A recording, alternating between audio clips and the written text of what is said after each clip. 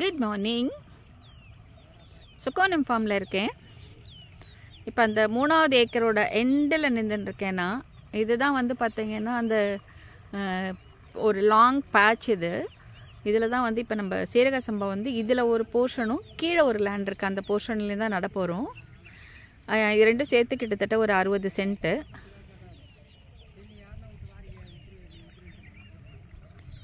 இந்த நடுவில் போகிறது வந்து பார்த்திங்கன்னா ஏரி கால்வாய். அதுக்கு மேலே நாங்கள் கொஞ்சம் மரமெல்லாம் நட்டு வச்சுருக்கோம்.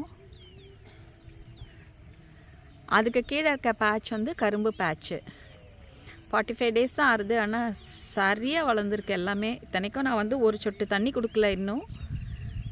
உரமும் கொடுக்கல. ஏன்னா நடுவில் நிறைய கேப்ஸ் இருந்தது. ஆளுங்களை கூப்பிட்டு நடவு வெட்டி நடவு செய்ய சொல்லலான்னு பார்த்தேன் நான். ஆனால் அலை கிடைக்கல. அதுக்குள்ளே கரும்பே கிட்டத்தட்ட ஒரு மூணு அடி வளர்ந்துருது சரி அப்படியே விட்டுட்டேன். அது இருந்தால் என்ன எக்ஸ்ட்ரா டன்னேஜ் கிடைக்கும் அவ்வளோதான் இந்த லாஸ்ட்டில் இருக்கிறது தான் வந்து நம்ம ஃப்ரூட் ஆர்ச்சர்டு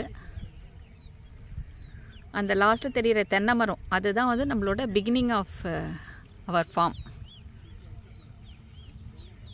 thank you